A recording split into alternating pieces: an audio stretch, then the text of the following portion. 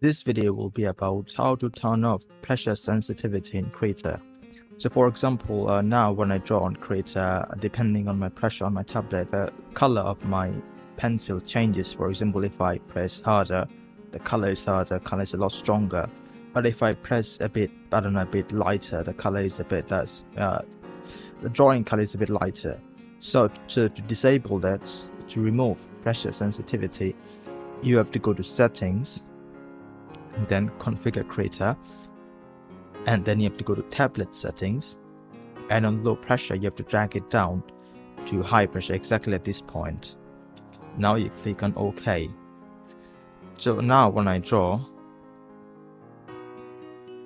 as you can see no matter my pressure it's still I, am trust me I am pressing as light as I can but it's still same dark same with every um, every pen that I choose it doesn't depend on my pressure. Everything I draw will be dark okay it will be always pressure 100 so that's how you kind of turn off pressure sensitivity. That's one way to do it. So if you want to like a um uh, to enable it again if you have to go to settings and then configure Krita and then tablet settings. And from there if you have to go back to default you just click on restore default and when you do that click on ok.